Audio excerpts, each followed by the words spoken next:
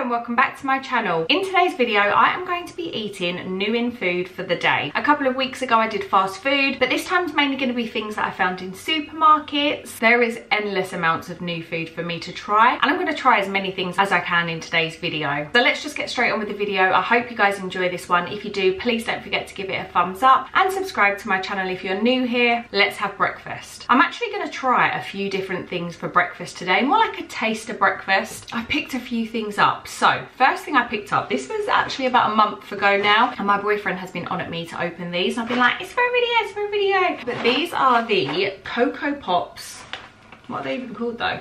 Chocos. I picked these up in Sainsbury's, I believe. I really love the Lidl version of these, so I think they're going to be really good. I have a feeling that they used to have these out before. I don't know, but clearly says new in the package. And then last week I was in Aldi and I saw these and I was like, oh my God, if you know my current cereal obsession, I have been loving Crunchy Nut. So when I saw salted caramel, I was like, yes, please, hand them over. So as you can tell, I'm very excited to try these. And then something else that I couldn't miss, I was tagged in this so many times. These are the Warburton Crumpet Thins. There's eight of these in a pack, so you do get more, but then they are thinner. I'm interested to see how much the texture has changed. So yeah, I'm just gonna try one of these for now with a bit of butter. Excuse the angle, but I'm ready for breakfast. So first of all, I have my crumpet thin and I put lots of butter on. I don't know how I feel. It's not hitting the same. Like I prefer bagel thins over bagels. I mean, it's nice, like I'll definitely eat them, but it doesn't have that same effect as a crumpet does. The only reason you might choose these over a normal crumpet, in my opinion, is if you're in a calorie deficit. I definitely wouldn't pick these over a normal crumpet personally though. They're too airy. They're just not it. Do you know what's better than this? A pikelet or a pipe? I don't know how you say it to be honest with you. I haven't had them in a while. I'm a bit sad about that, but then I don't know what I was expecting. They're not bad, but they're definitely not a new fave. Let's move on to the little chocolate shells. Just done myself a little mini bowl of each. Oh, they smell really chocolatey. Oh, just put all the milk down me, great. They smell like how I remember Cocoa Pops used to smell. It smells like chocolate milk. I really like them and they even taste how I remember Cocoa Pops tasting. I don't know what it is. Cocoa Pops are just lacking. I mean, I still eat them, but I know they're not as good as what they used to be since they went 30% less sugar. I love the crunch of them. I haven't had the little ones in probably well over a year now, so I can't remember exactly what they were like. I need to probably directly compare them. As far as cereals go, these are really good. I've got a funny feeling these are going to be my new fave. I did get these in Sainsbury's, but I did see these in Tesco yesterday, so I think everywhere's probably got them now. Would I buy these again? 100%. Let's move on to cereal number two. I'm hoping I've saved the best till last. By the way, I have just filled this up with milk so that they haven't gone soggy.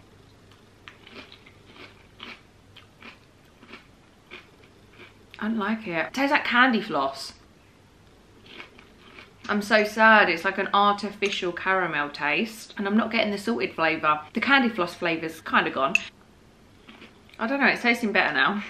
I don't know if I was just overreacting because it was my first bite and I wasn't expecting it. I don't know. I won't lie, I'm not really sold on these. I definitely prefer the normal crunchy nut over these. I was definitely overreacting. It's very unlike me, I know. Flavour's not giving what it needs to give. Would I buy these ones again? No. We're off to kind of a good start, I guess. At least it wasn't all bad. I mean, none of it's bad, but I'm not shouting off the rooftops, you know. The crumpets, they're nice, like they taste like crumpets, but they're just not as good as the normal ones. Probably as expected on reflection. But then because I love bagel thin so much, I just thought, you know, maybe they have a real potential. Anyway, I will see you guys now for lunch. It's time for lunch and I'm going to be trying something new that's from Aldi. So they seem to have brought out a lot of these new thins. These sounded really good to me. So these are naan style thins. I hope they really capture the taste of naan because if they do, I will be very excited. So I'm gonna have one of these and then to go inside I picked up some chicken. Can't get my words out, it's gone so dark. Why is it doing this? That better? Chicken tikka slices. And then I'm just gonna put a bit of like mango chutney, lettuce, the usual. And then to go with it, I got some of this peach and passion fruit sparkling water. I feel like these drinks go really well as like a mixer in the summer. So let's make lunch. I've also got something else to go with it, but I'll show you that once I've finished with the sandwich. Here's my lunch. I did end up putting this in the toaster just for 30 seconds. I'm excited to try this. I can't remember what the other ones were. I feel like these are going to be a new fave. Although, what else would I put in it? Because when I think of a naan, I either want to be eating it with a curry or mango chutney. So, like, if I started eating it with other stuff, would I ruin the flavour of naan? You know, like when you overeat something, you're like, mm, this is kind of boring now. I guess if you have them every so often, it's fine. They're really good. I'm actually really happy with them. It's the little things in life, you know? I'll definitely recommend them and I'll definitely be buying them again, two bites in, and I'm sold. This weekend for me, probably not when you're watching this, is bank holiday weekend. And in May, we've got three bank holiday Mondays. And obviously I only work Mondays and Tuesdays. So in May, I've got three one day weeks. I'm so excited. I'm like, I need to make the most of it. I don't want to go out and get drunk every Sunday and waste that extra day. then you can't help it. When it comes to bank holiday weekend, everyone's always like, want to do something last minute? And I just, I can't say no.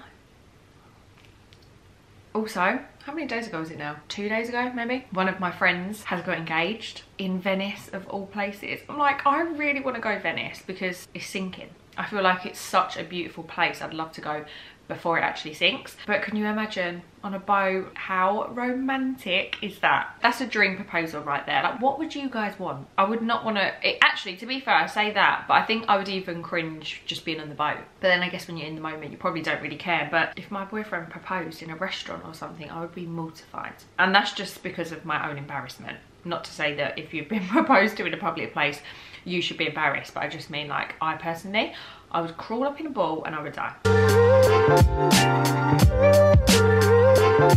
Thoroughly enjoyed that. Really recommend if you love naan as much as me. Let's try the drink before we have something else.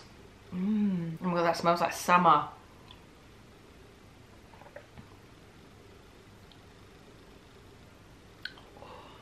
That's really good. Like really, really good. This sitting outside in the summer. Oh that's really nice. And as I said with the mixer. I don't personally like gin but I do like orange gin. That would go really nice. But what is the gin actually people love? There is a peach one isn't there? Can I give it a 10 out of 10 am I feeling generous today? No because I didn't love the with caramel stuff so maybe not. Did I say that was from Aldi? I think I did. Let's move on to something else. We have the Burger King Whopper Crisps. And uh, just to clarify, to avoid confusion, the burger is not included. Rude. But it does say you get a free Whopper meal. Oh yeah, duh, because I had the Dorito chicken. So they have done a collaboration, like both ways. How cool. No, they actually smell like McDonald's. I know it's Burger King. Okay. I really went through the motions then. These taste like Spanish crisps or any crisps you find in Europe. So at first I was like, oh my god, these taste like Black Walkers, Black Lays. They're full of flavour at first, but then they kind of get a bit dry. So I feel like these would be really good dipped in something. Or maybe I'm just, should stop eating the whole thing. I'm not obsessed. They are good. They're definitely giving burger. Would I buy them over the red ones? Probably not. Would I recommend them? I would say yeah. I think they've got an interesting taste. This is going to be a good one because it's so dark.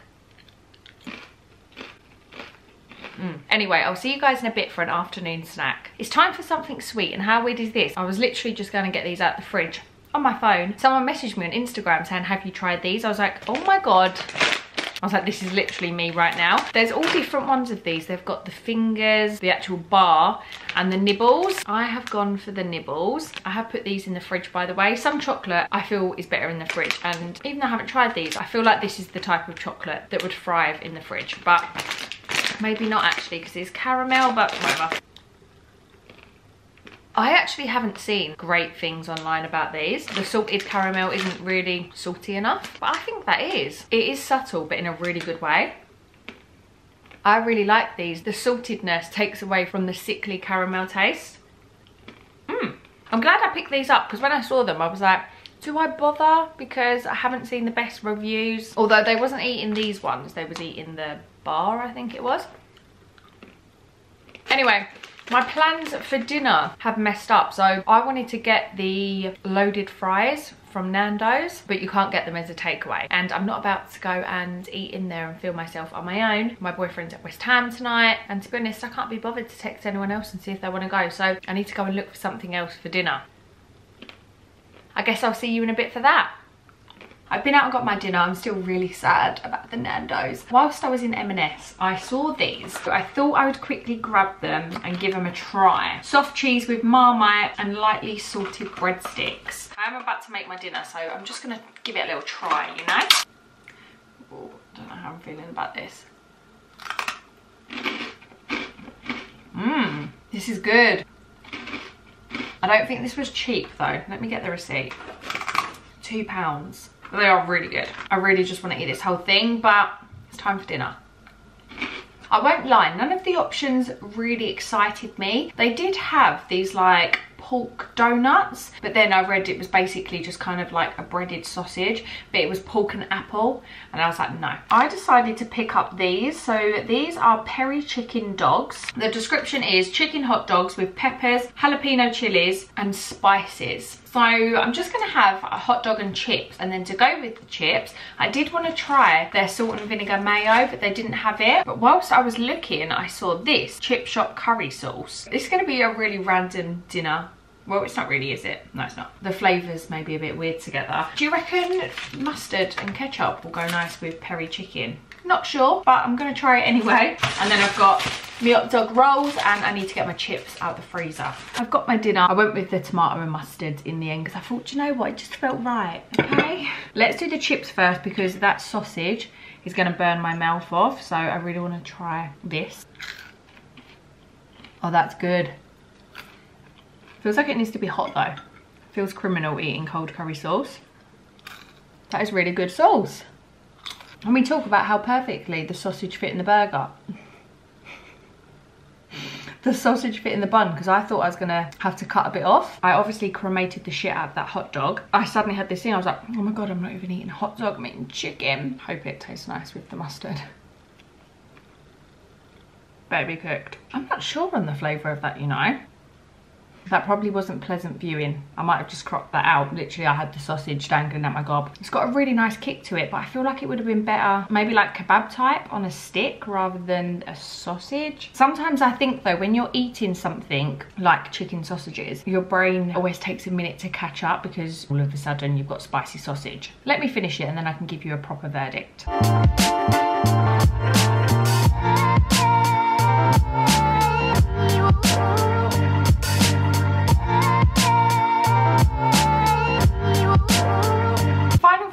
Sausages not sold. Weren't doing it for me personally. I know some people would like them so i would probably feel inclined to turn up at a barbecue with them i feel like my brother would like them i'm gonna go straight in with dessert and a cocktail because I've just read that this has high caffeine content which is pretty obvious but I just didn't really think about it. I also picked up in M&S this salted caramel espresso martini. These are tiny, like what can I compare it to? Like it's teeny tiny, but these are 14%, but yeah, they are £3.50, which is crazy.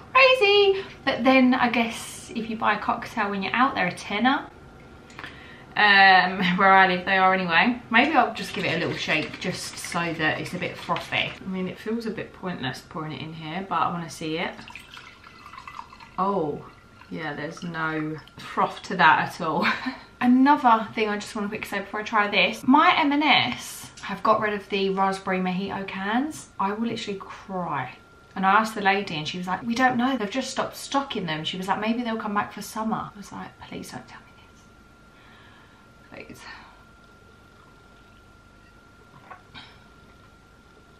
Mmm. Espresso martinis do make me shudder a bit. I'm a bit like, ugh, but I also love them. Do you know when I proper started getting into them? When I used to go out after work because if you're up at five in the morning, you finish at five, you're shattered. An espresso martini after work was the salted caramel part of this is really nice. It just has thrown me off. Maybe I shouldn't have poured it out because the fact it is just like a pure liquid. I mean, come on, it's not going to have froth on top. But I thought it was going to be more like, you know, the Starbucks cans or the Costa cans. I thought it was going to be more of that consistency. Looks like I've got Pepsi in here or something.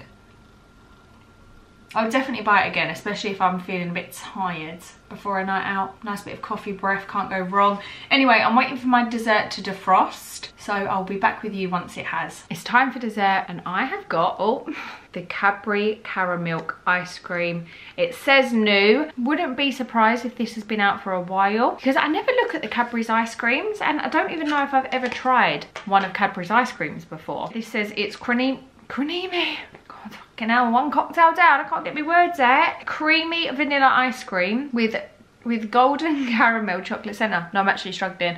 Look, this is what happens when I drink. My face starts to go red. This has been out for a while. I personally like my ice cream very melted. I picked this up, gone straight in the middle by the way, in Tesco. It was on Clubcard Points, three pounds. They also have these in like the bar forms.